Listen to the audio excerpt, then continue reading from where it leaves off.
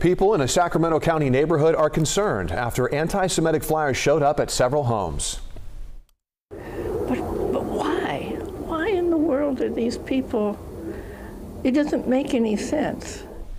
Authorities are trying to figure out who left the flyers, but it's not the first time something like this has happened in the area. Yeah, no, it's not. KCRA 3's Brittany Hope joins us live near the neighborhood where these leaflets were found. And Brittany, where does the investigation stand right now? So I have to tell you, just before we came live here, another resident just came up to us and asked if this is what we were reporting on because she's incredibly concerned. We know the Sacramento County Sheriff's Office and their federal partners are working on this right now. Residents in this area tell us they're scared.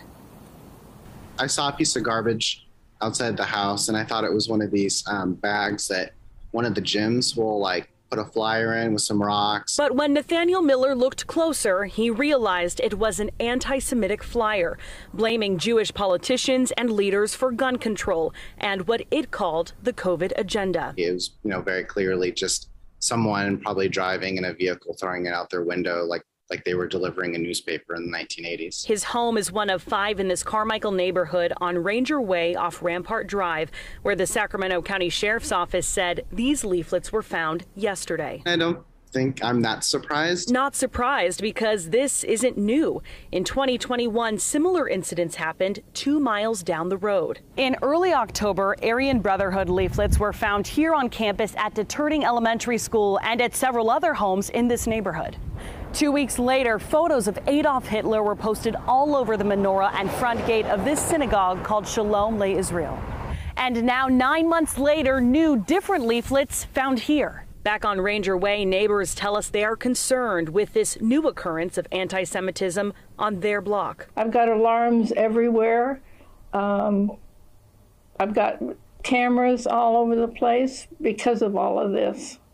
And it shouldn't be that way. It just shouldn't. This resident didn't want to show her face on camera, but wants her message, her frustration, to be heard. Who knows what their reasoning is? I don't think they have to have a reason.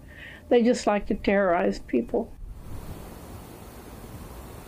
And I want to bring it back to March now. That's when the Sacramento County District Attorney's Office charged a man named Nicholas Sherman to 180 days in jail in connection to the two other anti Semitic incidents in Carmichael back in October. Now, the Sheriff's Office tells me tonight that Sherman served 100 of those 180 days before he was released. We're live in Carmichael. Brittany Hope, KCRA 3 News. And Brittany, have any arrests been made in connection with the new flyers that were found yesterday?